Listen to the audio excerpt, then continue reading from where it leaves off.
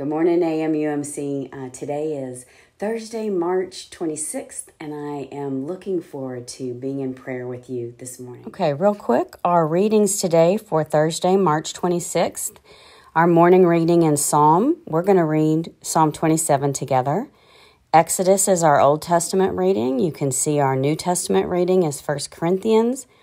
Our gospel reading today will be from Mark chapter 8, verses 27 through chapter 9, verse 1. So let's get this started.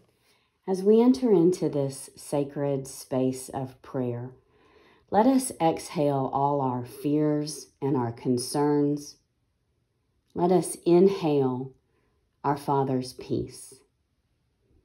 Our opening verse But the hour is coming, and now is, when the true worshippers will worship the Father in spirit and in truth for such the Father seeks to worship him. Amen. Let us take a moment of silence to confess our sins and acknowledge our need for God's grace and forgiveness.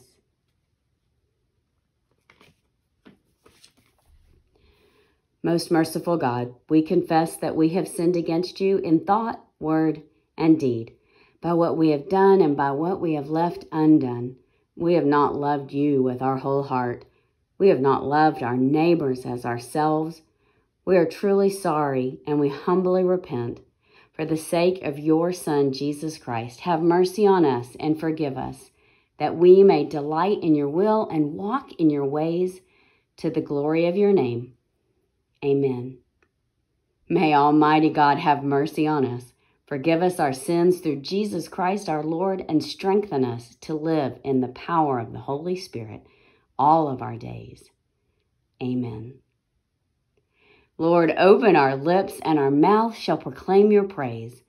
Glory to the Father and to the Son and to the Holy Spirit, as it was in the beginning, is now, and will be forever.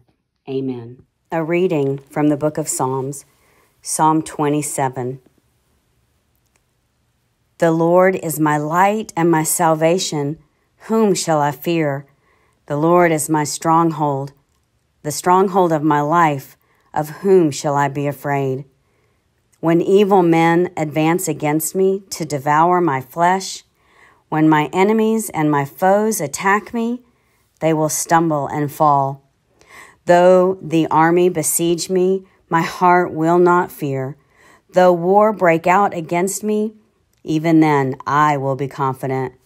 One thing I ask of the Lord, this is what I seek, that I may dwell in the house of the Lord all of my days, to gaze upon the beauty of the Lord, and to seek him in his temple. For in the day of trouble, he will keep me safe in his dwelling. He will hide me in the shelter of his tabernacle, and he will set me high upon the rock. Then my head will be exalted above the enemies who surround me, and his tabernacle will sacrifice with shouts of joy. I will sing and make music to the Lord. Hear my voice when I call, O Lord. Be merciful to me and answer me. My heart says of you, Seek his face. Your face, Lord, I will seek. Do not hide your face from me. Do not turn your servant away in anger. You have been my helper. Do not reject me or forsake me, O God, my Savior.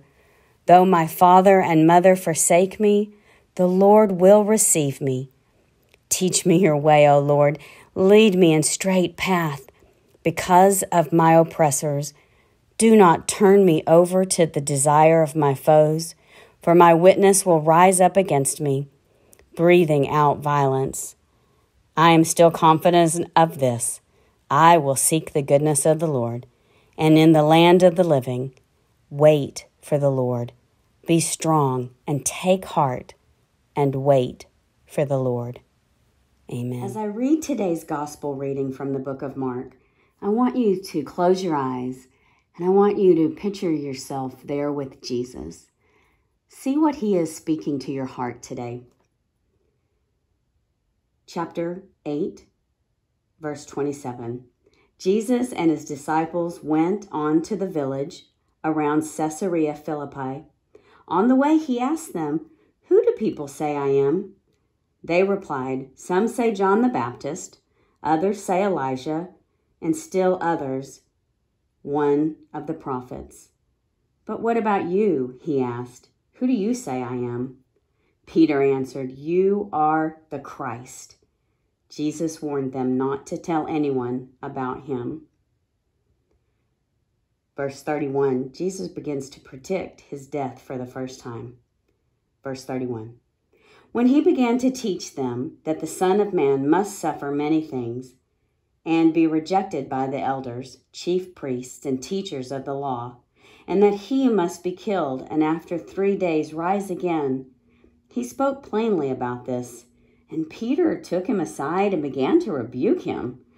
But when Jesus turned and looked at his disciples, he rebuked Peter. Get behind me, Satan, he said. You do not have in mind the things of God, but the things of man. Then he called the crowd to him, along with his disciples, and said, If anyone would come after me, he must deny himself and take up his cross and follow me. For whoever wants to save his life will lose it, but whoever loses his life for me and for the gospel will save it. What good is it for a man to gain the whole world, yet forfeit his soul? Or what can a man give in exchange for his soul?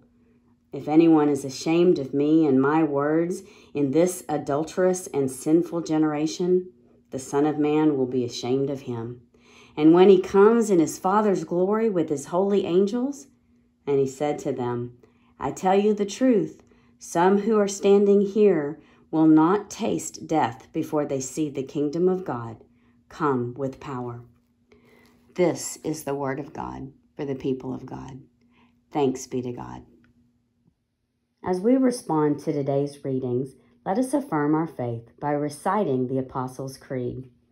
I believe in God the Father Almighty, creator of heaven and earth. I believe in Jesus Christ, his only Son, our Lord. He was conceived by the power of the Holy Spirit and born of the Virgin Mary. He suffered under Pontius Pilate, was crucified, died, and was buried. He descended to the dead. On the third day he arose again, and he ascended into heaven, and is seated at the right hand of God the Father. He will come again to judge the living and the dead. I believe in the Holy Spirit, the Holy Catholic Church, the communion of saints, the forgiveness of sins, the resurrection of the body, and the life everlasting. As we continue our prayer, let us pray the prayer our Father taught us. Our Father, who art in heaven, hallowed be thy name. Thy kingdom come, thy will be done, on earth as it is in heaven. Give us this day our daily bread Forgive us our trespasses, as we forgive those who trespass against us. And lead us not into temptation, but deliver us from evil. For thine is the kingdom, and the power, and the glory, forever and ever. Amen. As we listen to this prayer of intercession, close your eyes and use it to focus. Show us your mercy, O Lord, and grant us your salvation. Clothe your ministers with righteousness let your people sing with joy. Give peace, O Lord, in all the world, for only in you can we live in safety. Lord, keep your nation under your care and guide us in the way of justice, justice and truth. Let your way be known upon the earth, your saving health among all nations. Let not the needy, O Lord, be forgotten, nor the hope of the poor be taken away. Create in us a clean heart, O God and sustain us with your Holy Spirit. Now, together, we will take a moment of silence to lift up to the Lord our prayers, our petitions, our intercessions, and our thanksgivings.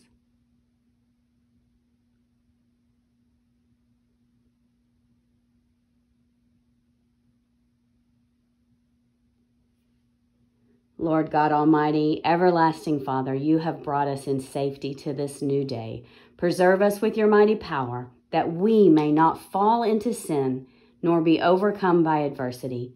In all we do, direct us to the filling of your purpose through Jesus Christ our Lord. Amen.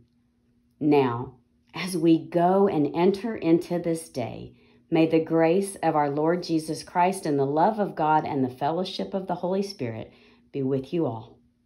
Amen.